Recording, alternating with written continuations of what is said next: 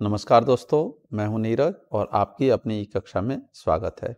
इस वीडियो में हम लोग एडिशन ऑफ़ फेजर क्वांटिटी का सेकंड मेथड पढ़ेंगे, जो कि मेथड ऑफ़ कंपोनेंट। पिछले मेथड जो हम लोगों ने पैरेललोग्राम मेथड पढ़ा था, वहाँ पे सिर्फ़ अगर वेक्टर दो हैं तो उनका एडिशन वहाँ से पॉसिबल है। लेकिन अगर दो से ज़्यादा वेक्टर होंगे तो उसके लिए हमें इस मेथड मेथड ऑफ़ कंपोनेंट का इस्तेमाल करना होगा। तो देखिए, मैं यहाँ पे दो से ज़्यादा वेक्टर्स का एक फेजर डायग्राम ले लेता हूँ। और उसके बाद हम लोग मेथड ऑफ़ कंपोनेंट एक्सप्लेन करते हैं। तो देखिए हमने एक यहाँ वेक्टर ले लिया है फेजर डायग्राम लिया है जिसमें तीन वेक्टर हैं v1, v2 और v3 और सभी वेक्टर्स का जो है एंगल जो है रेफरेंस से दिया हुआ है यानी कि आप देखें तो ये पॉजिटिव एक्स एक्सिस से दिया हुआ है v1 का थीटा वन वी टू का थीटा टू और v3 का थीटा थ्री। अब आपसे कहा जा रहा है कि इन तीनों का रिजल्टेंट आप फाइंड करिए कि कितना होगा। यानी कि आपको यहाँ पे कहा जा रहा है कि v is equal to V one plus V two plus V three की वैल्यू फाइंड करके बताइए कि क्या आता है। तो उसके लिए आपको क्या करना है?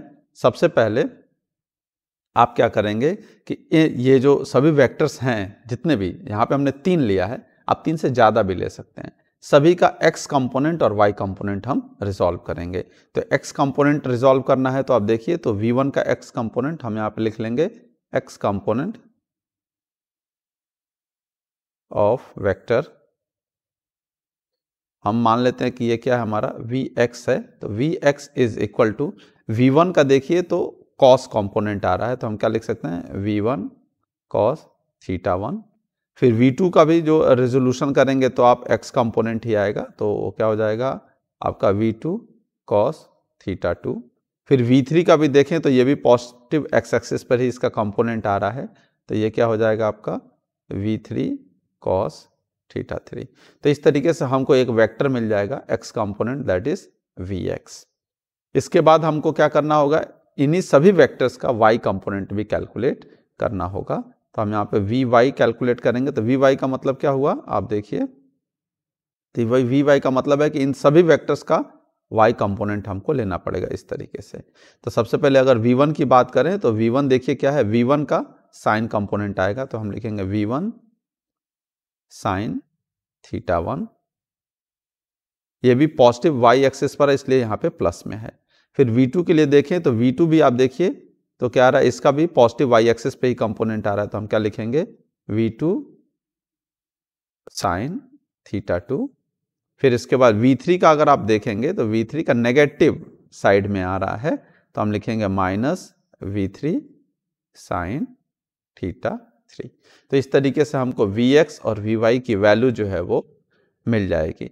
जब भी आपको न्यूमेरिकल दिया गया होगा उसमें, सब V one V two V three theta one theta two theta three ये सारी वैल्यूज़ दी गई होंगी तो आप जब इसको सॉल्व करेंगे तो आपको वी एक्स और वी वाई की वैल्यू इंडिविजुअली अलग अलग मिल जाएगी।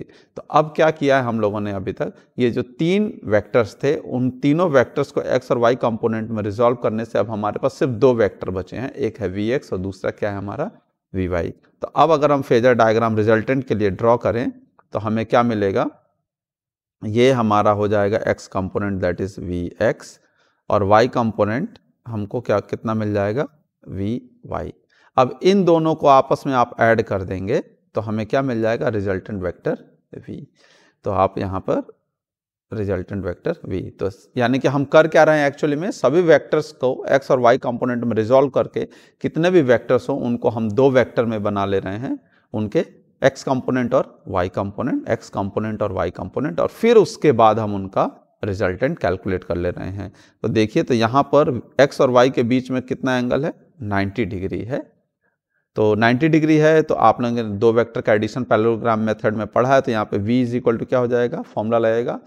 A square plus B square plus two A B cos theta, ये फॉर्मूला होता है तो ए की जगह पे क्या है आपका? वी एक्स है और बी की जगह पे क्या है आपका? वी वाई है। तो आप लिखेंगे यहाँ पे वी एक्स का स्क्वायर प्लस वी वाई का square plus two V X V Y cos of 90 degree और ये पूरी की पूरी चीज़ जो है अंडर रूट में रहेगी। इसके बाद हमको क्या मिल जाएगी वैल्यू? आप देखिए तो कॉस 90 कितना होता है आपका? ज़ीरो होता है तो ये पूरा टर्म क्या हो जाएगा आपका? ये पूरा का पूरा टर्म क्या हो जाएगा? ज़ीरो हो जाएगा। तो आपको वैल्यू मिल जाएगी वी एक्स का स्क्वायर प्लस वी वाई का square.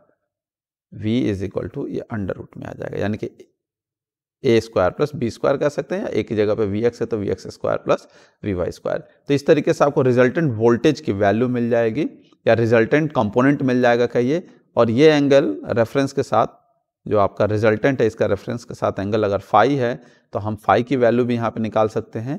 कैसे? टेन फाई की वैल्यू लिखेंगे।